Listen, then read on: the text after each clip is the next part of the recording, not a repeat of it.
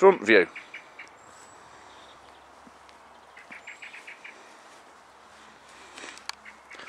Side view. Wheel lock included.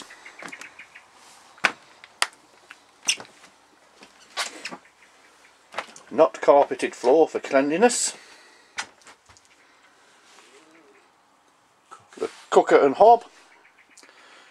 Kettle, toaster, controls.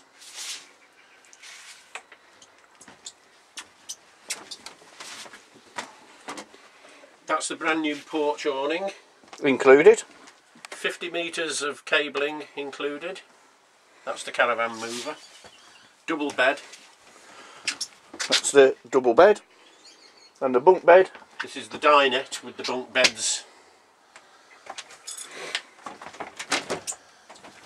End bathroom with the large cassette toilet.